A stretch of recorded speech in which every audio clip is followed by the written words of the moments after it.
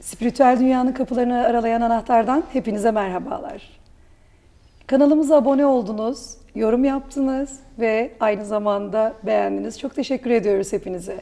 Bugün yine sanat, terapisti hocamız Sayın Ayşe Ayten'le birlikteyiz. Hocam hoş geldiniz. Hoş buldum Bircan'cığım. Hocam hemen sorulara başlamak istiyorum izninizle. Bugün çok şıksın. Çok teşekkür ederim. Sağ olun hocam sizin için. Ben de senin için. Sağ olun. Hocam zihin nedir? Zihin nedir? Şimdi zihni aslında bir belleğe benzetebiliriz. Beyin bellekse zihin de içindeki bilgidir. O zihin dolar, taşar, hayatımızı etkiler ve bir yığın şeyler yapar. Dolayısıyla beyinle karıştırılır bazen ama beyin somut bir şeyken zihin daha soyut bir konudur. Zihnimiz bizim çeşitli bilgilerle dolar ve e, o bilgilerle de hayatımızı yönetir aslında. Peki akıl ile zihin aynı şey midir? Aynı şey gibi görünse dahi değil. Çünkü e, zihin bir vahşi ata benzetebiliriz. Eğer siz zihni eğitebilirseniz e, zihin size hizmet eder. Eğitemezseniz siz zihne hizmet edersiniz. Eğer akıl daha çok beyinle ilgili bir şey yani yine soyut ama beyin somut olan bir şey ya akıl da beyninizin daha iyi çalışmasıyla birlikte diyebiliriz buna. Daha böyle beyne yatkın olan bir şeydir. Eğer onu doğru kullanırsak zihni de doğru kullanmış oluruz. Dolayısıyla ikisi birbirinden aslında farklı ama ikisi de birbirine çok iyi hizmet eden şeylerdir. Akıllıysanız zihni yönetebilirsiniz. Yönetebilir miyiz? Yönetebiliriz. Zihni yönetmek mümkün müdür hocam? Zihni yönetmek mümkün tabii ki. Eğitmek mümkün müdür peki? Zihin eğitilebilen bir şey mi yoksa? Evet, zihni yönetmek de mümkün, zihni eğitmek de mümkün. Zaten zihni eğiterek yönetebilirsin. Anne karnından itibaren başlıyor bizim zihnimiz, beden, bedenimiz, auramız dolmaya. E bir de geçmiş yaşamları var bunun. Tabii oradan getirdiklerimiz de var. Beden kayıt tutuyor ya, alanımızda kayıt var. Ee, Öyle mi? Beden kayıt mı tutar? Beden kayıt tutar, toprak kayıt tutar, e, beden bilgeliği diye bir şey var. Beden bunu bilir ve yeri geldiğinde oradan neyse kayıtlı olan onu ortaya çıkarır. Şimdi eğer siz bunun fark akıllıysanız yeterince ve kendinizi iyi gözlemleyebiliyorsanız o zaman zihninizi yönetebilirsiniz. Hayatınızda bir şeyin ters gidiyor olması mesela sizin zihninizde, bilinçaltınızda bazı kayıtların doğru olmadığını gösteriyor. Hı. O zaman siz o kayıtları nereden aldınız? Bir ona bakacaksınız. Zihni eğitmek elbette ki mümkün. Şimdi bizim Nasıl yaparız peki yani bunu? Kolay bir şey midir bu? E, kolay. Şimdi biz çok fazla e, zora alıştık. Eğer kolay olursa iyi değildir. O atasöz sözlerini hatırlayın. Bir şey çok kolaysa o zaman iyi değildir o ya. Her şey zor olmak zorunda ki kıymetli olsun falan gibi. İşte zoru başar ki kıymetli olsun gibi şeyler vardır, cümleler vardır. O bizim zihnimize yerleşiyor. Onun için her şeyi zor zannediyoruz.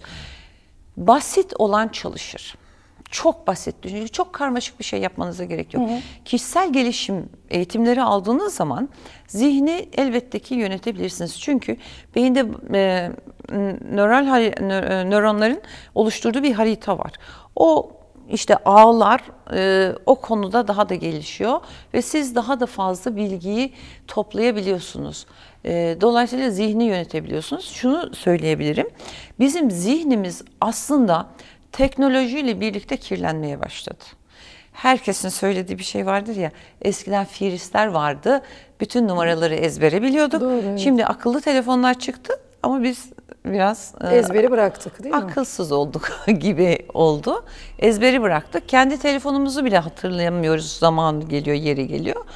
E, dolayısıyla hem beyinde pratik, akılda pratik ve zihinde bilgileri toplayarak bir şey oluşturabiliriz. Bizim e, duyum ötesi zihin soyut ya. Hı hı. Biz aslında biliyoruz onu yönetebileceğimizi, zihin de biliyor.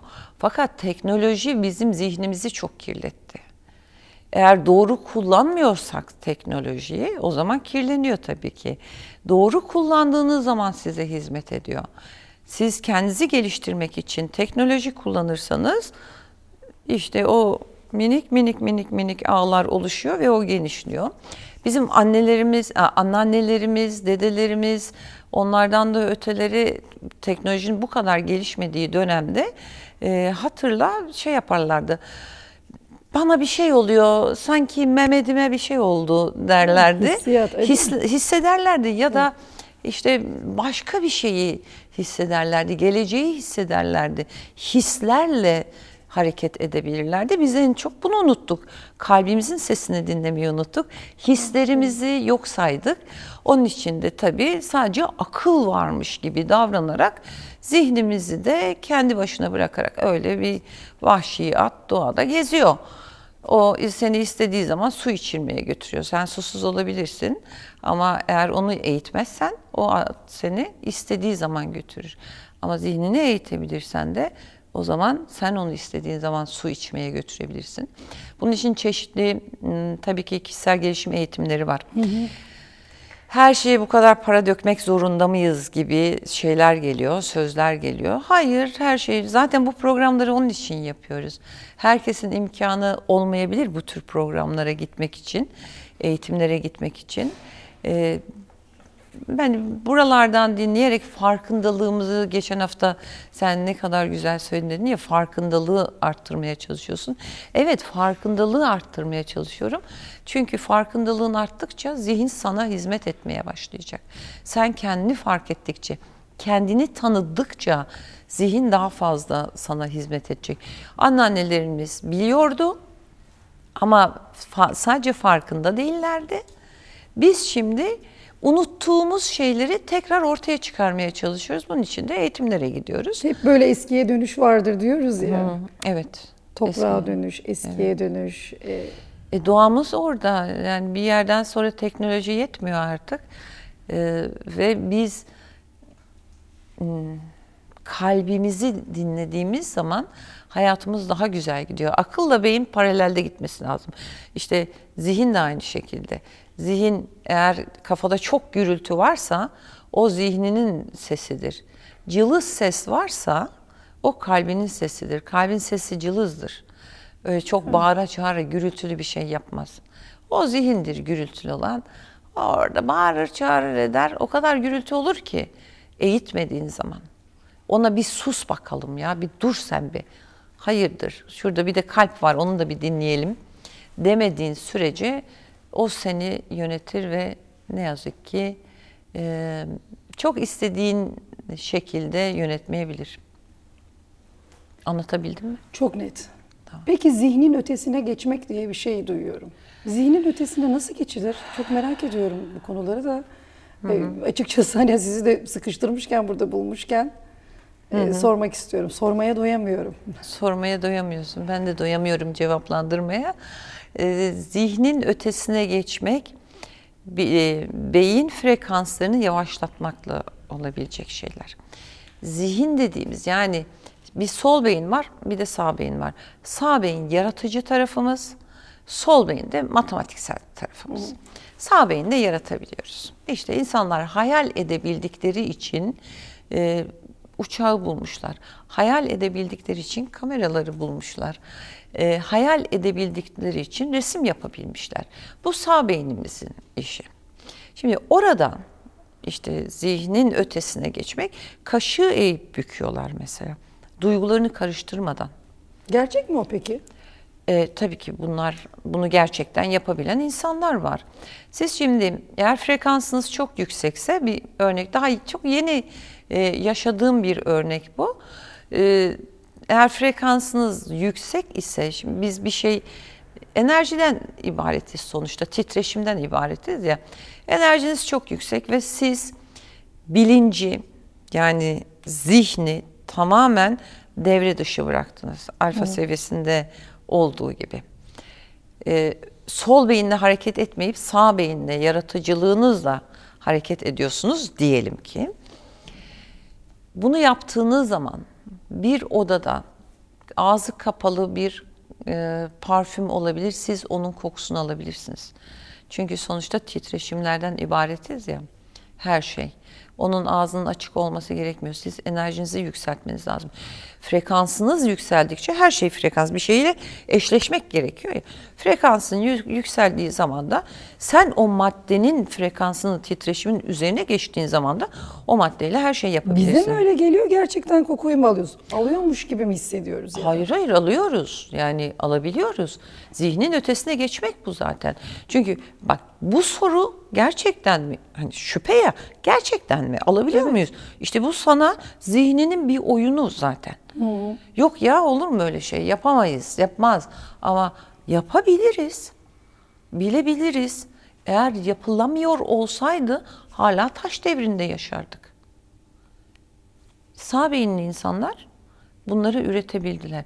Biz de sol beynin yani bilim diyor ya bilimin bugüne kadar ispatlayabildiği.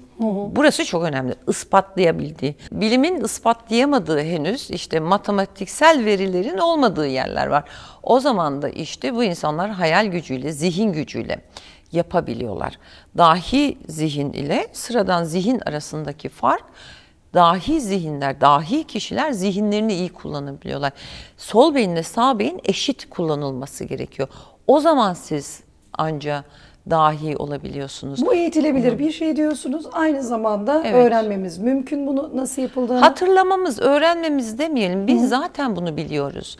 Bizde zaten bu kayıtlar var. Biz sadece kalbimizin sesini dinlemediğimiz için, yaratıcılığımıza güvenmediğimiz ve hislerimizi hiçbir zaman, yani birçok kişi için sö- söylüyorum bunu, e, hislerimizi dikkate almıyoruz. E, kere iki dört eder, bundan başka bir şey tanımıyorum. Tamam, gerçekten de iki kere iki dört eder, onda hemfikiriz. Ama başka bir şey daha var burada. Onu da hayal ederek ilerletebilmek. Veyahut da maddenin ötesine geçebilmek.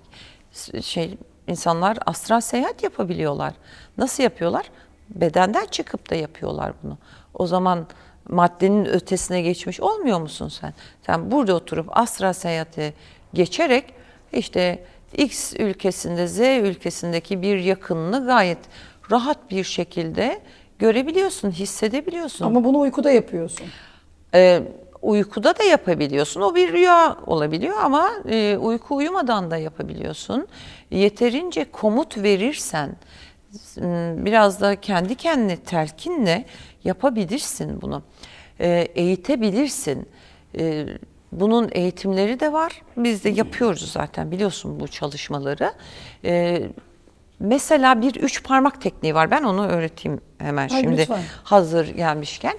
Şimdi şu Evet. e, baş parmağımız işaret Bunu ne için yapıyoruz? anlatacağım. Tamam. Baş parmağımız, işaret parmağımız ve orta parmağımız şu üçünü uçlarını birleştirdiğimiz zaman daha böyle bir uçlarını birleştir. Tamam. Bunu yaptığımız zaman 120 bin tane sinir hücresi aktif oluyor. Dolayısıyla sen artık yaratıcı pozisyonuna geçiyorsun ve zihnini bunu defalarca deneyin. Ne için kullanabilirsiniz? Ben e, bir şey kaybettiğim zaman bunu çok kullanıyorum. Aa, Evet çünkü bir şeyimiz kaybolduysa bunu yapıyoruz. ben bunu yapıyorum ve Hani biz böyle klasik etem dede etem dede Aynen. onlar vardı ya veya da böyle bir yere bir şey bağlama gibi. Onu değil bu artık yeni şey bu mu? e, etem dedeyi de yapın. Tamam. Bunu da yapın. Burada fiziksel olarak yaptığınız bir şey var. Hani öyle de olmaz kardeşim deyip de illaki matematiksel bir şey istiyorsunuz ya. 120 bin hücrenin aktif hale gelmesi ne demek düşünün. Tamam. Elektronlar bunlar aktif hale geliyor. Ve ben bunu bir şey kaybettiğim zaman hemen yapıyorum. Çünkü biliyorum e, benim enerjim o kaybettiğim şeyin üzerinde. Onun enerjisi de ben de ben kullanmışım çünkü ve orada benim enerjim var. Dolayısıyla ben bunu zihin yapmadığım zaman onun enerji alanına girip nerede olduğunu bulabiliyorum. Bunu yapıyorum. Gözlerimi kapatıyorum ve diyorum ki işte kaybetmiş olduğu, kaybettiğimi sandığım Kaybettiğimiz sandığım, sandığım e, kolyemin nerede olduğunu zihnim biliyor. kolyemin nerede olduğunu zihnim biliyor diyorum. Diyorsun gözlerin kapalı bir şekilde Evet. ve bekliyorsun.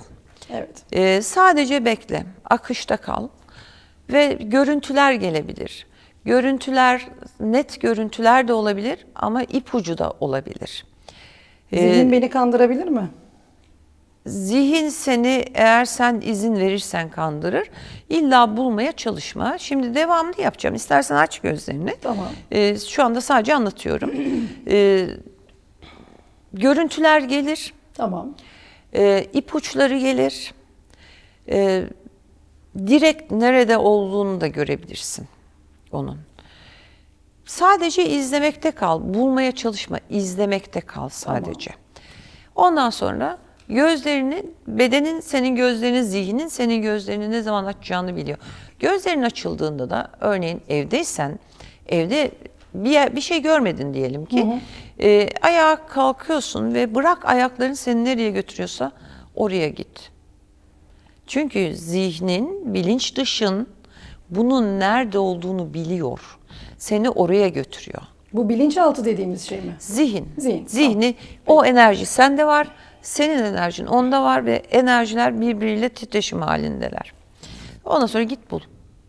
Ben bunu Yaptınız mı? binlerce kez tabii hem yaptım hem öğrettim hem de e, veya park yeri günümüz büyük şehirlerde çok büyük problem ya. Park yeri bulmak için kullanıyorum. Evden çıktığım zaman hemen seviyeye giriyorum. Seviye yani böyle gözlerinizi kapatıp birkaç tane nefes alın. E, basit olan çalışır. Tekrar altını çiziyorum. Basit olan çalışır. Birkaç nefes aldıktan sonra üç parmağınızı bir araya getirin ve deyin ki işte nereye gidiyorsan e, orayı gözün önüne getir ve de ki ben gittiğimde benim için bir park yeri açılacak. Tam da gittiğimde bir park yeri benim için hazır olacak. Hangisini istiyorsan. Ve bırak lütfen. Eğer yapabiliyorsan gideceğin yere kadar yine şu üç parmağını bir arada tut. O şeyler, elektronlar çalışsın. Gittiğinde hakikaten ya sen geldiğinde bir park yeri açılıyor ya da e, senin için bir park yeri tamamen açılmış oluyor ve oraya park harika. edebiliyorsun. Bunu yani 10 milyonlarca kez yapmışımdır ben ve her seferinde veya trafik sıkışık diyelim. Olur mu öyle şey? Oluyor. Oluyor. Yapın da görün, deneyin demiyorum, yapın. Ama kendinizi haksız çıkarmak için yapmayın. Veyahut da benim tezimi çürütmek için yapmayın. Değil mi? Yaptım Doğru. olmadı, yaptım olmadı. Hani, hani? Ha, hani olacaktı? Bende oluyor. Geçen e, bir arkadaşlarla oldu bu. Bir yere gidiyoruz ve Ayvalık'tayız ve Ayvalık'ın içine gideceğiz. Sarımsaklı'dan Ayvalık'ın içine gideceğiz. Park yeri bulmak mümkün değil dediler. Buluruz ya dedim ben. İşte öğrettim hemen bunları yapın dedim. E, şimdi ayıp olmasın diye karşıda çıkamıyorlar ama böyle içten içe bir sırıtma var. Ya, ya olur mu öyle şey falan diye. Ne saçma. Böyle e, bunu fark edip dedim ki sabote etmeyin. Bırakın hiçbir şey düşünmeyin ben halledeceğim dedim. Sonra tutamadılar kahkaha attılar. Üç parmakla park yeri bulacağız. Ayvalık sokaklarında. Evet Ayvalık sokaklarında. Ben çıktım. Üç parmak tekniğimi yaptım. Tam da geldiğimde bir araba çıktı ve ben oraya park edebildim. Harika. O arkadaşlar kendini sadece Deneyeceğim. gülerek yere attılar. Aa işliyormuş diye. Gerçekten işliyor. Deneyeceğim bunu mutlaka. Evet, yap, deneme. Tamam, deneyeceğim. Şimdi deneyeceğim demek de zihnin oyunu gene sana. Ne diyeyim denedim Yap, mi? yap. Yapacağım. Yapacağım. Evet, Tamam. yapmak. Tamam, Yap. yapacağım. Bırak zihnin zihnin sana seni sabote etmeye çalışabilir. İyi bir sabotajcıysan sen zihnini sabote et o zaman. Bunun gibi onlarca örnek var. Yine bir öğrencimiz e, fatura kesiyor ve faturaların elemanlara veriliyor. İşte faturalarda eksik var. E, elemanına diyor ki bu faturalar gelmedi. Hayır geldiydi gelmedi verdin vermedin meselesi var. Tamam diyor hiç şey yapmıyor. Onunla e, bir tartışmaya girmiyor. Hemen geçip üç parmak tekniği yapıyor. E, diyor ki bir yere gitmiş o yeni bir müşteri var. E, çok büyük kocaman devasa bir hediye paketi vardı diyor. Onların dolaplarının en üstünde. Orayı gördüğünde bunu buraya nasıl koymuşlar acaba diye düşünmüş. Ben diyor onu gördüm sadece. İpucu dedim ya biraz önce. Onu gördüm diyor ve sonra o kişileri arıyor ve diyor ki işte mutabakat yapmak için e, lütfen şey gönderin bana hesap özeti gönderin. E, onlar gönderiyordu. Bir de bakıyor ki fatura orada. Eleman oraya e, üç yani üç nüshayı da vermiş. Bir nüshasını alması gerekirken en az bir nüshasını. Hepsini oraya bırakmış gelmiş. E peki ikincisi nasıl olmuş? Birincisini o görmüş. Diyor ki tamamen kendimi bıraktım. Faturayı ben kestim. Evet ve bunu bulacağıma da inandım. Ve hiçbir şekilde zihnimin beni sabote etmesine izin vermedim. Kaybolmuşum. Bulursam benim lehime bulmasam da vardır bir çözümü diye düşünerek yine seviyede bu üç parmak tekniğini yapıyor. Yeri görüyor. Elemanına diyor ki şöyle şöyle bir yer. Fatura orada. Eleman da diyor ki hayır değil. Orada diyor, ısrar ediyor. Ama diyor olur mu ben oraya işte gittim de ben oradan aldığımdan çok böyle en sonunda oraya git ve faturayı sor diyorum sana diyor. Yeri tarif ediyor elemanı Aa, evet şöyle bir müşteri diyor. Bakıyor ki olmuyor elemanı da ikna etmek zorundasın ya bir yerden sonra. E artık iknadan vazgeçip hemen diyor git, gideceksin oraya ve soracaksın diyor. Eleman gidiyor. Oranın sahibi ya neredesin kardeşim faturaların tüm nüshalarını bende bırakmışsın diyor. Yani zihnin ötesine geçmek böyle Bu. bir şey. Kağıt oynatmak, işte bardak e, oynatmak veyahut da Kaşığı bükmek. kaşığı bükmek hepsi olabilecek şeyler. Maddenin ötesine geçiyorsun. Madde titreşimden oluşan bir şey. Hepimiz frekans ve titreşimdeyiz ya. İşte o zaman ne oluyor? Sen onun ötesine geçtiğin zaman, sen frekansını yükselttiğinde her şeyi yapabiliyorsun. Ayşe Hocam çok güzel bir söyleşi oldu. Çok güzel bir sohbet ettik birlikte. Ağzınıza sağlık. Çok Ayağınıza teşekkür sağlık. ederim. Geldiğiniz için çok teşekkür ederiz. Her zaman, her Vallahi zaman. hiç, hiç gidin istemiyorum. Kalın burada. Kalalım, kalalım. Kalın burada devam Evet. edelim. Şu abonelikle ilgili ben de birkaç bir şey söylemek istiyorum eğer izin verirsen. Bu bir alma verme dengesidir arkadaşlar. Biz burada e, bütünün de hayrına olacak şekilde bilgilerimizi paylaşmaya çalışıyoruz. Burada geniş bir teknik ekip var. O arkadaşların hepsinin çok büyük emeği var. Her ne kadar kamera önünde görünmeseler de onlar olmasa bizim burada yaptığımız çok fazla e, işe de yaramaz gibi geliyor. En azından onların emeği için lütfen abone olun demek istedim. Yorum yaptığınız, bizi takip ettiğiniz, beğendiğiniz ve abone olduğunuz için çok teşekkür ediyoruz. Sevgiyle kalın. Anahtar, anahtardan hepinize hoşçakalın.